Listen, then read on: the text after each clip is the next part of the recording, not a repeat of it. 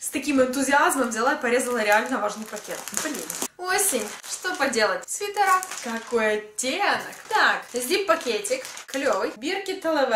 Очень-очень темный, зеленый. Это кардиган. Написано 100% акрила. Есть бирочка, как видите, да? Даже как ухаживать. Практически не мнется. Приятно. Вязка не плотная. Абсолютно просвечивается. Может продувать ветерочком, но смотря на что надевать. Есть рукавчики стянутые. Да, смотреться будет шикарно. Вполне можно укутаться. Размерчика здесь э, на меня две хватит. Видите, кожа немножко просвечивается. Реденькая вязка. И к низу немножко сужается. То есть примерно будете смотреться вот так. Ткань мягусенькая, такая приятная. Сразу понятно, что акрил. Совершенно не колется. Тоже важный момент. Кстати, вязка отличается у воротника и вот дальше там, где идет спинка. Но лучше посмотрим детализации. Разобраться бы, какой стороной надеть. Примерку я делаю в другой день, но я их еще не надевала. Вроде разобралась. Где воротник, там вверх. Ну что, что скажете? Стильно, модно или нет? Ну, главное, что тепленько. Уже скоро будет актуально. Так смотрится сзади летучая мышка. Такие в городе вообще нет смысла покупать. Вот на Алиэкспресс то, что надо. Причем делают хорошо. Зип-пакет размер эмочка уже. Это мега крутая юбка. Она как бы под кожу. Кожаная, с PU кожи. Выговорилась наконец. Не хуже черная, потому что подходит под все. Ну, сами представляете. Лишь бы только села на меня. Но, насколько я помню, в моем магазине это именно М-ка. Замочек ходит легко, причем донизу. Есть два кармашка. Первый муляж, хм, во второй даже в теории что-то можно было бы положить, но по сути тоже муляж. Ну и конечно, куда же в юбочку, в облипочку можно что-то положить. Материал обычный, претензий никаких нет, швы везде аккуратненькие. Уже предвкушаю, сколько можно крутых образов создавать. Еще и внизу кармашек. Ну, в общем, кармашков хватает, но они все не настоящие. И рассказываю вам главный лайфхак. Особо-то и не видно, что она кожаная или не кожаная, не столь важно. Но белая юбка. Представляете, как обычно белые вещи пачкаются. У меня есть белые шорты, и я их за один раз изнашиваю так, что нужно сразу в стирку. Тут же нужно еще постараться, чтобы угробить. Удачный вариант, надеюсь, подойдет. Юбка-бомба, вот что я вам сегодня 100% могу рекомендовать. Конечно, когда я надевала, я сомневалась, что это мой размер, что я вообще ее смогу здесь затянуть. Точнее, вот так. Во-первых, хорошо, что замок ходит хорошо и легко, поэтому я быстро справилась. Во-вторых, она немножко тянется, несмотря на то, что это как бы ПУ кожа, да, я не могу спокойно двигаться. И она вроде даже не особо поднимается наверх. Сидит, конечно, в облипочку, ну прям ну совсем в облипочку. Но при всем этом ткань достаточно плотная, чтобы белье не было видно. Юбка настоящий восторг. Я бы сказала, это must have в гардеробе, потому что еще плюс ко всему базовая. Еще свитер свитерочек. Бирочка вылетела. Girlish. Кстати, это заказ уже именно с официального сайта Talever. У них там гораздо больше выбор, чем на Алиэкспресс. Посмотрите. А еще я, кстати, выпросила скидку. Небольшую, но все же маленький бонусик. В общем, посмотрите внизу в описании. Итак, свитерочек. Классика. Он мне понравился именно в этом оттенке. В других смотрится как-то конкретно странно. Но серый с таким белым. Это такое мимими. Бирок никаких не вижу. Одна ниточка просто завалялась. Есть бирочка, размер S эска, стопроцентный акрил. Такая неприятная, но вот у предыдущего была такая мямышаночка. Здесь как-то немножко пожестче. Плотная вязка, но при этом свитер не будет прилегать к телу. И впереди такое вот плетеное сердечко. Вот оно уже мягусенькое. Классический вариант, как я называю, надел и пошел. Потому что не знаю, под что этот свитер может не подойти. Длину рукава обязательно проверяйте у меня, а то что-то она меня смущает. На примерке. Ну, что скажете?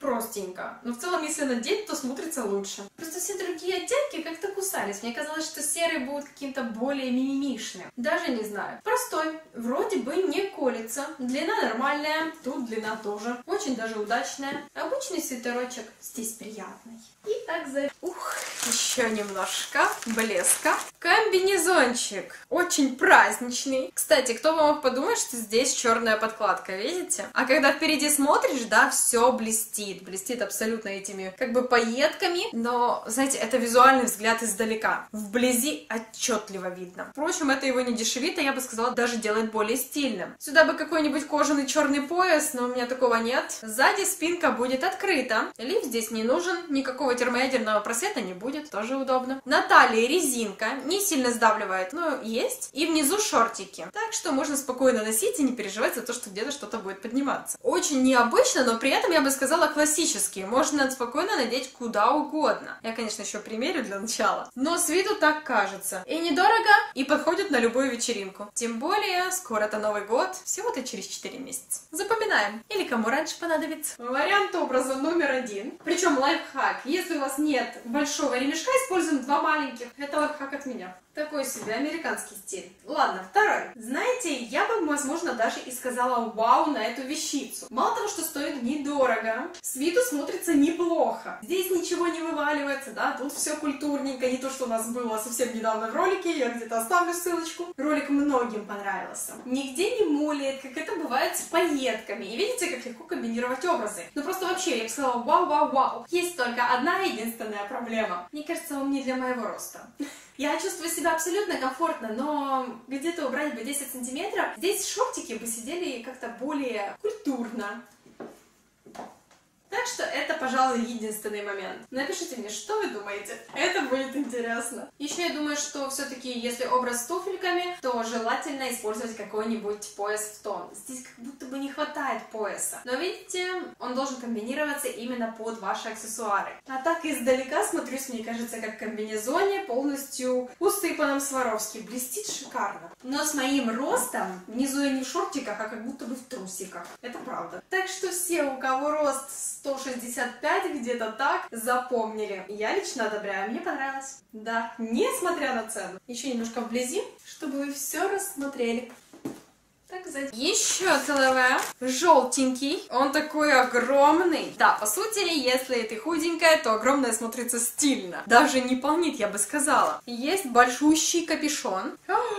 Как электризуется. У меня прям волосы двигаются в когда притрагиваешься, электризации нет. Но волосы у меня тут прям танцуют. Танго. Даже не ложатся. Оттенок мой любимый в этом году. То есть зеленый и вот такой вот желтый с переходом в горчичный. Есть железные вставочки. Сразу вам подсказываю, что они, конечно, будут немножко холодить. И кожаный ремешок.